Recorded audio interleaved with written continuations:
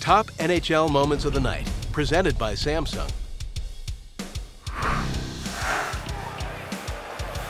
Butnick was having a little trouble taking that off the boards.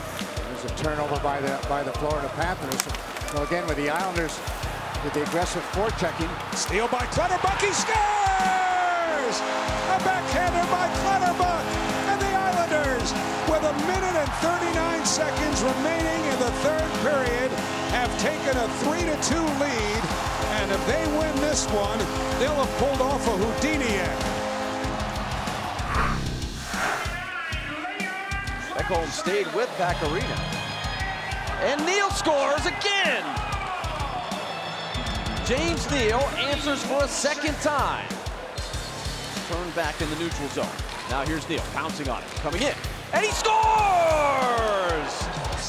Take the lead, a hat trick for James Neal. Dynamite move by Neal. He has been releasing the shot all night. Puck near the line. Flames get it. Here goes Frolik. Short-handed breakaway. Frolik right in. Scores! Michael Frolik, short-handed, ties the game at two. Giving away to Giordano. Flames already have one. Frolik, second short-handed chance. Scores! Two short-handed goals by Michael Frolik, and it's 6-4 Calgary. Top NHL Moments of the Night, presented by Samsung.